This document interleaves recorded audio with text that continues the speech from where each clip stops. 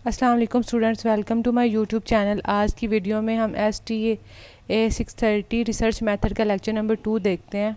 इससे पहले कि मैं नेक्स्ट प्रोसीड करूँ, अगर आपने मेरे चैनल को सब्सक्राइब नहीं किया तो सब्सक्राइब करें, साथ में बेल आइकन का बटन भी प्रेस करें, ताकि नेक्स्ट आने वाली वीडियोज़ असाइनमेंट और क्विज़ का सोलूशन आप मिस ना कर सकें। अब आते हैं हम अपनी स्लाइड्स की तरफ़। रिसर्च मेथड का आज लेक्चर नंबर टू है। इससे पहले थोड़ा सा साइंटिफिक मेथड के बारे में बताया गया है। कहते हैं रिसर्च जो है, जब हम करते हैं तो हमें नॉलेज मिलता है और उस नॉलेज से हम बहुत ज़्यादा प्रॉब्लम को सॉल्व कर सकते हैं। इसके अलावा हम यूनिवर्सल थ्योरीज बना सकते हैं लाज बना सकते हैं प्रिंसिपल बना सकते हैं। लेकिन कहता है कि जो हर नॉलेज जो कि इंसान के पास होता है, वो साइंस नहीं होती है। ठीक है, अब नेक्स्ट आते हैं कि साइंस क्या है। साइंस एक ऐसा मेथड है जो कि प्रोड्यूस करता है नॉलेज को। ठीक है, एक ऐसा प्रोसीजर है जो कि नॉलेज को प्रोड्यूस करता है, जैसा कि डिस्कवरिंग करता है यूनि यूनिफॉर्मिटीज़ बताता है प्रिंसिपल्स और लॉ बताता है, लेकिन जो किसी भी इंसान के पास कोई नॉलेज होता है, वो साइंस नहीं होता है। अदरवाइज़ साइंस क्या है? एक ऐसा प्रोसीजर है, जिसके ज़रिए हम कोई नॉलेज प्रोड्यूस करते हैं लॉज बनाते हैं डिस्कवरीज बनाते हैं री ऑब्जर्वेशन में be made by same research at different time and place by other professional at some other place and time इस यूनिवर्स के अंदर साइंस और सिस्टम आपस में रिलेट करते हैं। साइंस जो है वो सिस्टम सिस्टम जो है वो साइंस से नॉलेज प्रोड्यूस कराता है और नॉलेज जो है वो सिस्टम से प्रोड्यूस किया जाता है। इसके नेक्स्ट हम देखते हैं कि सेंसरी ऑब्जर्वेशन हमारे पास क्या होती हैं। Means process of sensory experience क्या है? हम लोग चीज़ों को ऑब्ज़र्व करते हैं। ऑब्जर्वेशन का मतलब होता है रेपिटेशन करना री ऑब्जर्वेशन करना। By repeating the observation researcher want to be define positive this approach is called positivism जब भी हम लोग किसी चीज़ को रिपीट करते हैं रिपीट करते हुए उसको ऑब्ज़र्व करते हैं तो ऐसी सिचुएशन को हम पॉजिटिविज़म कहते हैं। मीन्स उसमें पॉजिटिव चीज़ों को ऑब्ज़र्व करते हैं इस नेचर के अंदर, जिसको हम लोग पॉजिटिविज़म कहते हैं। अब नेक्स्ट कहता है जो हमारे रिज़ल्ट होते हैं, वो ऑर्गेनाइज होने चाहिए सिस्टमटाइज होने चाहिए, एक ऑर्डर में होने चाहिए और हमारे नॉलेज का पार्ट होने चाहिए। कुछ स्पेशल फीचर्स हैं साइंटिफिक मेथड के, हम उसकी तरफ़ चलते हैं। I hope so seven eight जो हैं वो बताए गए हैं। आपके फीचर्स सबसे पहला हमारे पास है एम्पेरिकल ऑब्जर्वेशन जो अम्पेरिकल है, ये हमारे पास ऑब्जर्वेबल फिनोमिना है और ये रियलिटी के ऊपर बेस करता है।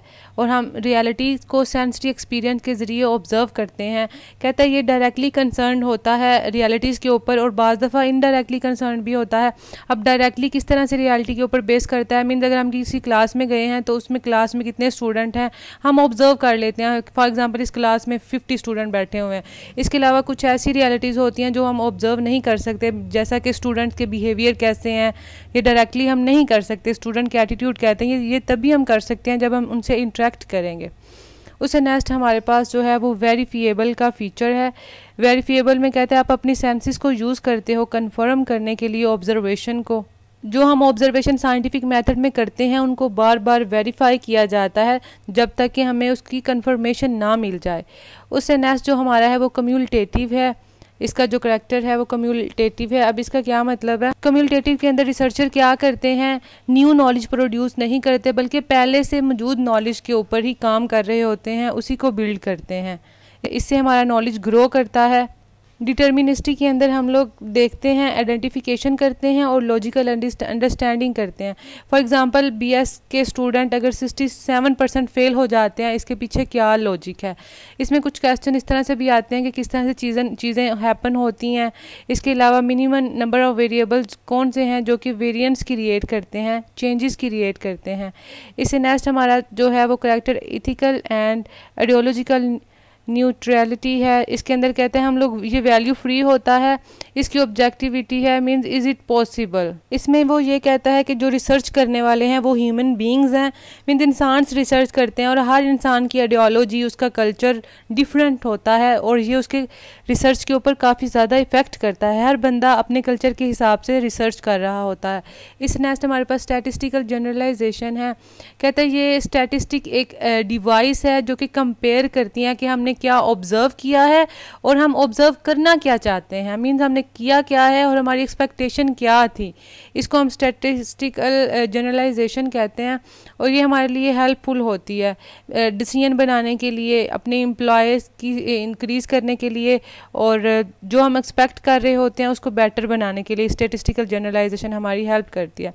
इससे नेक्स्ट हमारे पास जो है वो रैशनलिज़म है। अब रैशनलिज़म कहता है इसमें रैशनलिज्म में दो लॉजिकल डिस्टिंक्ट होती हैं, एक हमारे पास डिडक्टिव और एक इंडक्टिव जो डिडक्टिव होती है, वो जनरल टू स्पेसिफिक मूव करती है. For example all man is mortal और सो महमूद इज़ मॉर्टल ये डिडक्टिव में आता है, जो जनरल टू स्पेसिफिक मूव करती है और जो इंडक्टिव होती है, वो स्पेसिफिक टू जनरल मूव करती है. ये रैशनलिज्म था।